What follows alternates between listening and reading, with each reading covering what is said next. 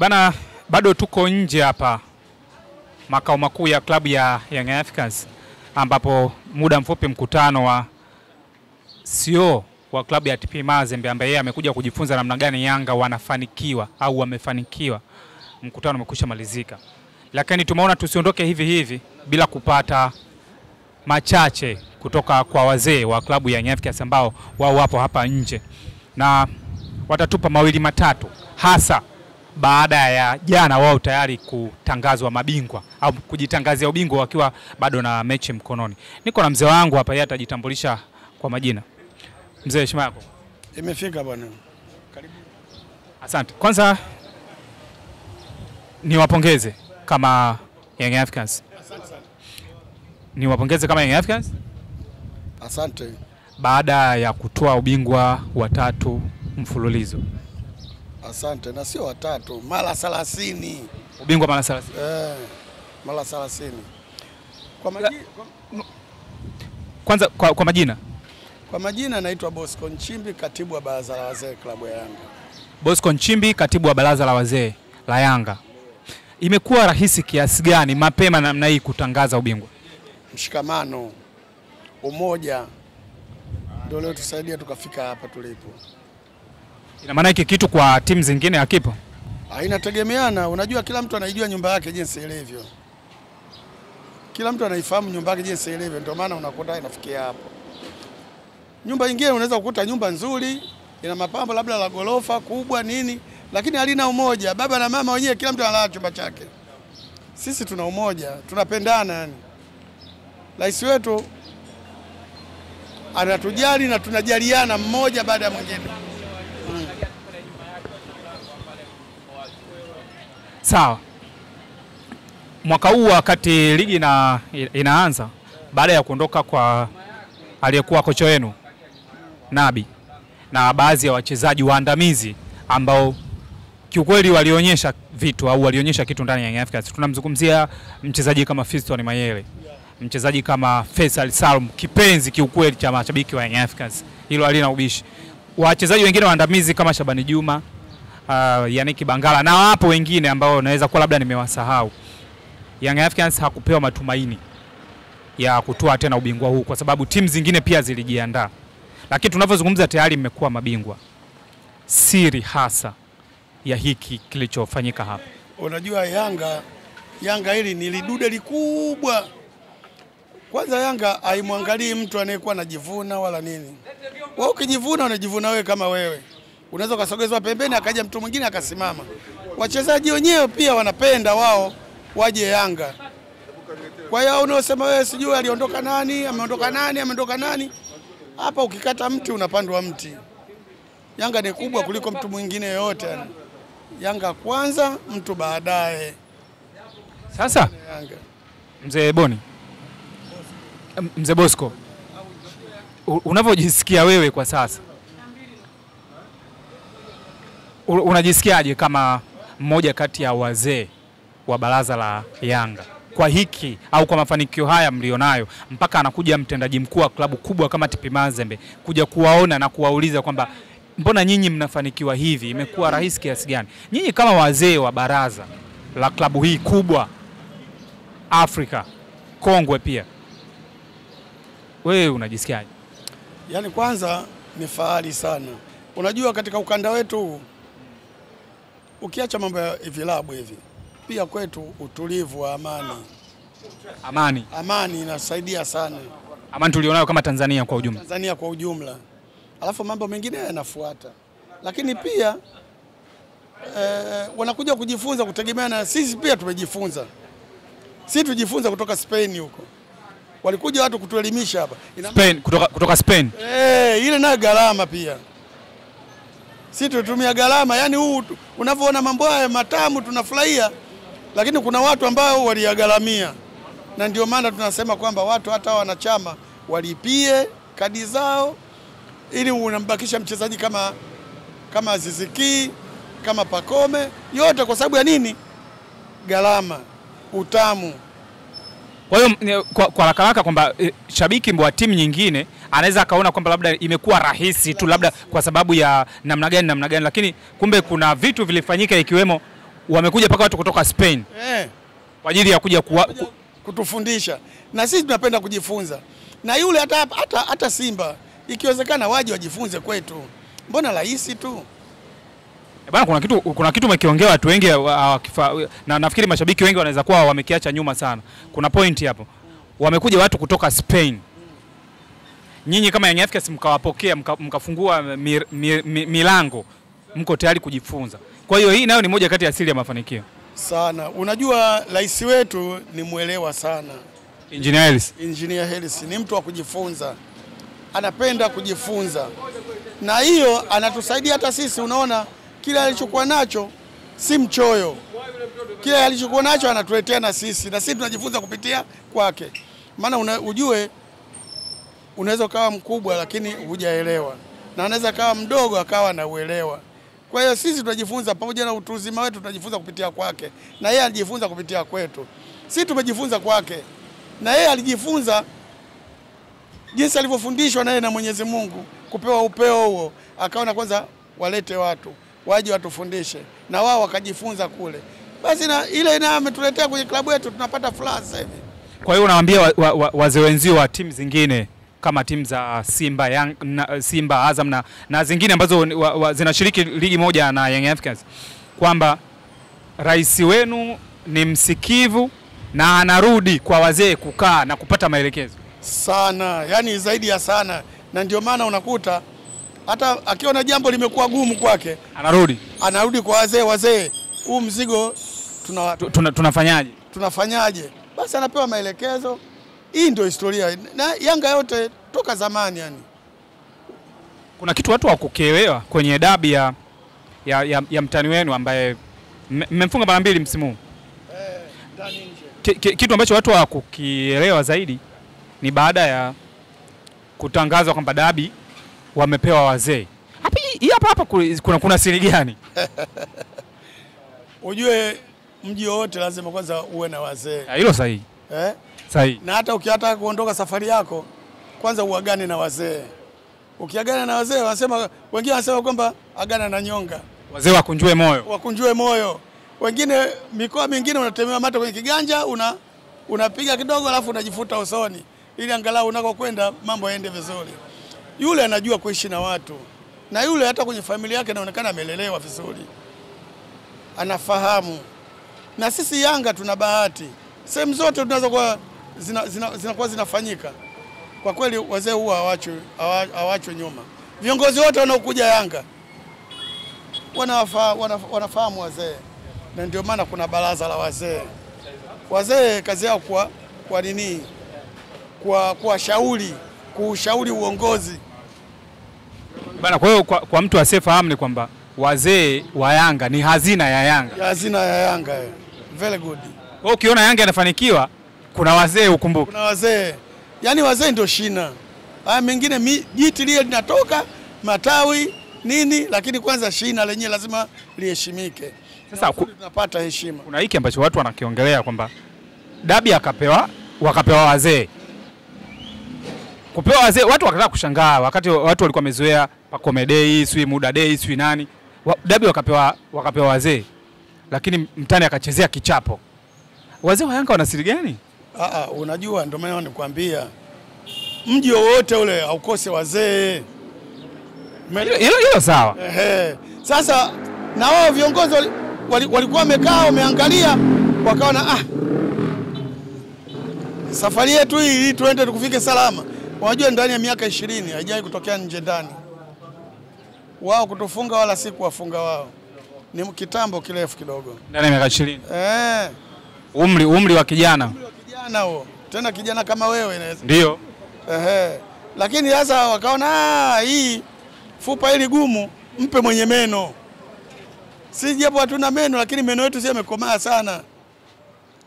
Kwa hiyo katika Basi ka, ka, mzee Mwinyi, mzee mzee mzee Nchimbi, katika kuweka sawa hapa ni kwamba viongozi wa Young Africans walivyoiangalia dabi wakaiona pagumu, wakaona hapa sasa tuwaite wazee. Wa Ndio maana wazee mkaitwa mkakabidhiwa dabi. uzee dawa. Uzee dawa ndio maana halisi ya kuitwa mzee. Uzee dawa. Tulivyokabidhiwa wazee basi fupa lile japo lilikuwa gumu. lakini tuling'ong'osa hivyo tukafanikiwa tuka kulitafuna, na mpaka leo hii wanagombea nafasi. Kuna majina mawili Eh, tatu na pili, wanagombea majina hayo tatu na pili. eh, Bwana, eh, em parudie kwanza. Wanagombea majina mawili. wanagombea majina mawili, mtu na dada yake hapo Tatu na pili.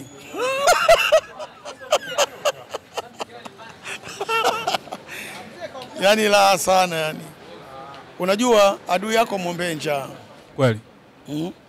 Hata kama alikuwa shujaa atanyosha mikono juu. Na hii ni fundisho, wajifunze, wasione aibu.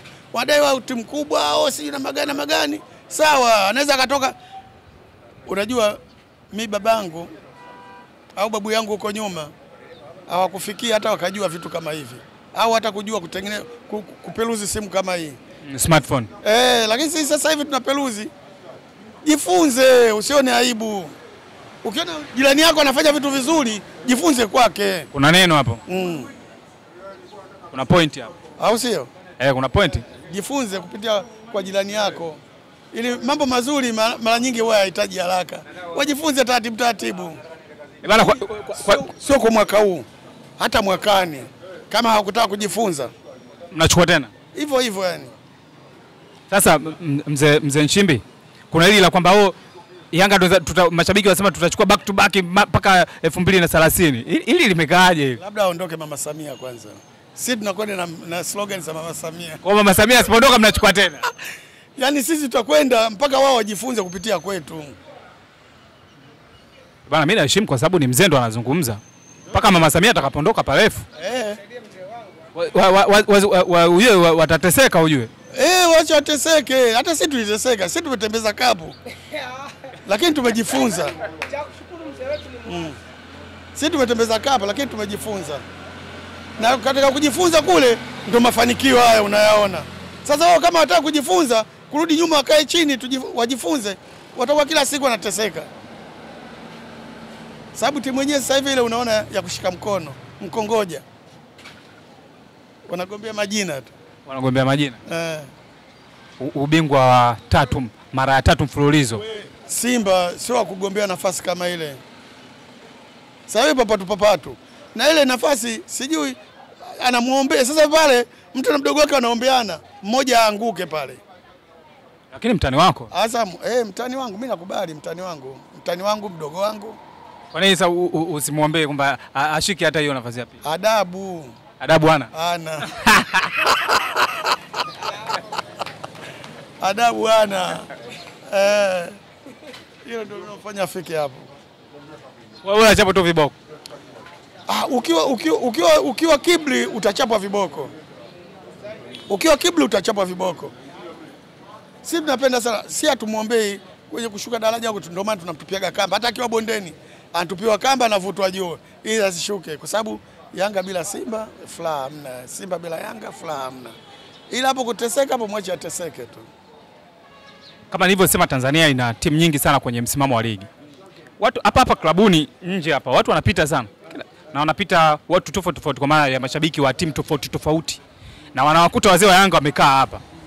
Sasa kwa wale ambao labda wanachukulia em, labda liweke sawa, kwa wale ambao wanachukulia wanaona kama mmekaa tu. Hapa kukaa tuna sehemu ya kupunga hewa tu, hii sehemu ya upendo, na ndio maana hata anapokuja mtu hapa anaambiwa karibu dukani, karibu ofisini, kama una tatizo ukiuliza unasaidiwa hapa. Sisi hapa hatuna roho mbaya, na sehemu ya kupumzikia. Tuna sehemu ya kupumzika kama hivi.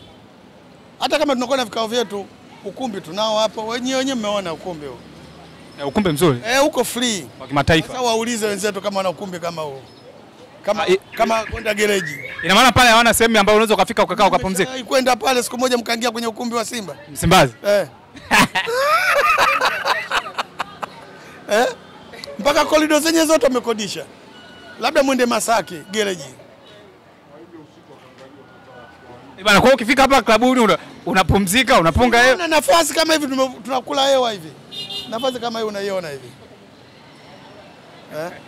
Wewe usi- usije ukawaona wazee wa Yanga wamekaa nje hapa ukawadharau. Ah, dharau sidhani kama kuna mtu anakuja anatudharau hapa, hapana.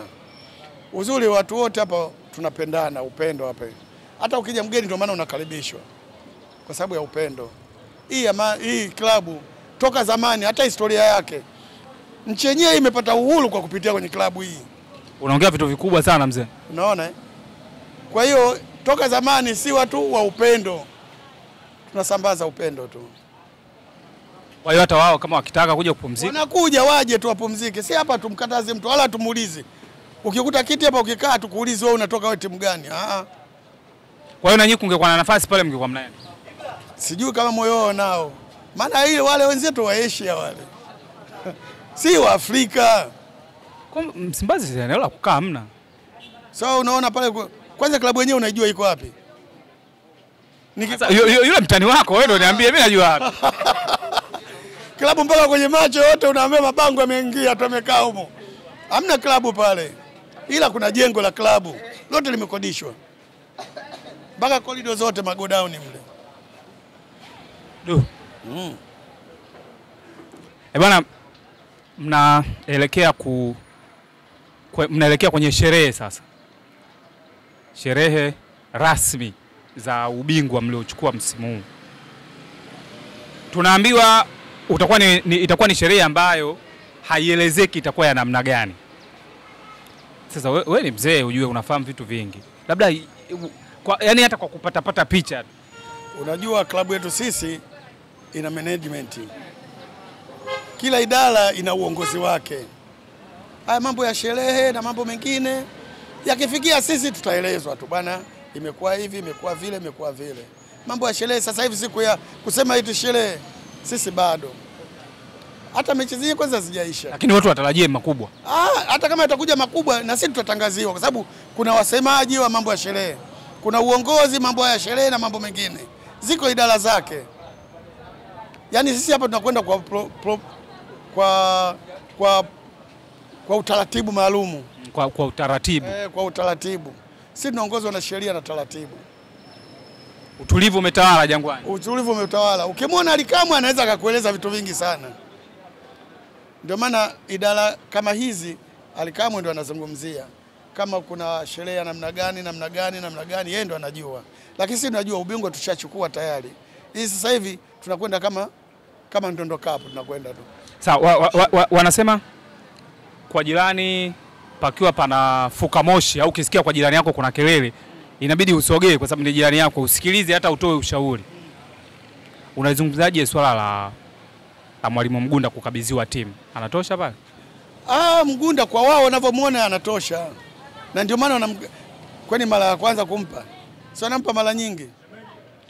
Ujue siasa za mpira mbaya sana. Anaweza akawatisha Mgunda akimwachia moja kwa moja mwakani, asije ukashangaa akatangaza ubingwa mapema. Basi namwachie wampe. Mbona kama unawatega, wanakusikiliza, wanakuangalia wazee wenzio. Si siasa zao za mpira. Kama wanaweza kumwachia Mgunda timu, anaona kwamba ana- anafaa, anatosha, wamwachie, wamwachie. Si mzawa, wasichukue. Kwani mwaka huu wamechukua makocha wangapi? Makocha wangapi wamechukua? Watatu, makocha kama watatu wanne, zi watatu. Watatu, kama sio watano. Wanabadilisha badilisha tu, huyu afai, huyu afai. Kwa hiyo Msimbazi, shida hasa ambalo wewe una, unaona kabisa kwa kama ulivyosema mdogo wako huyu mtani wako, shida ya kawaida tu ambayo unaiona kwa haraka haraka, shida kubwa nini?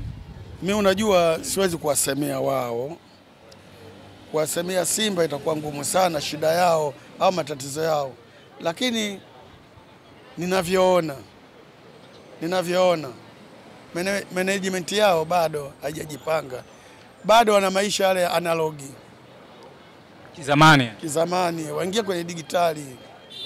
Si tushahama kule.